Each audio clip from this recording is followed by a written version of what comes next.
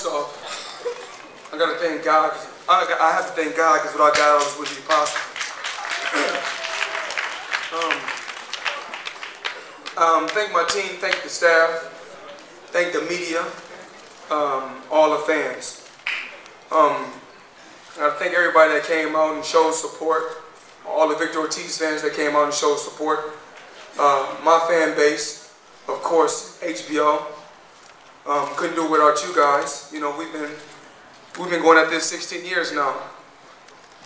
We do it four more years, it'd be 20 years.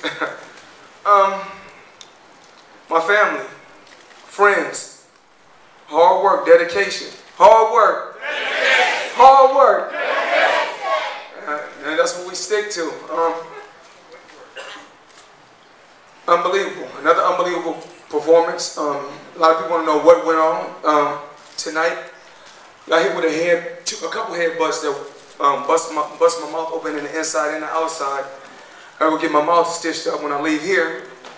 Um, things happen, you know. You know, shit happens in the sport of boxing, but you live and you learn. Only the strong survive. Protect yourself at all times. I went out there and done what I had to do. You guys told you guys I wouldn't let you down. You want to see a knockout? That's what I gave you.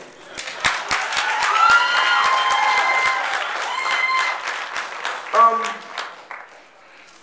but um, Richard Schaefer, Oscar De La Hoya, Golden Boy, the Golden Boy staff, y'all done an unbelievable job with Ortiz.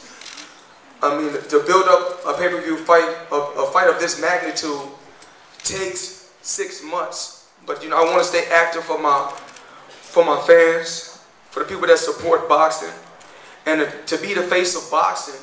Only thing I, I gotta say is one thing: if you're the best, take the test. Um, I'm not ducking and dodging no opponent, so um, I'm getting tired of everybody saying Floyd is ducking and dodging. You know, when I was dominating the game in the 90s, you know, where were these guys at? Um, so, you know, when Victor Ortiz was nine years old, Floyd Mayweather was world champion in the sport of boxing and dominating the fight game. But the, the money team, you know, uh, we go strong. And um, it's not just about the money, it's about the entertainment. We bring entertainment. It's all access TV 24-7. You guys done an unbelievable job. Unbelievable. I mean, everything that I asked for from Al Haymon, of course, that's my go-to guy. Al Haymon and HBO. Whatever I ask HBO to do, that's my family. And Al Haymon, they can't stop us, baby. You know it. Um, 50, my dude, my best friend, my babies,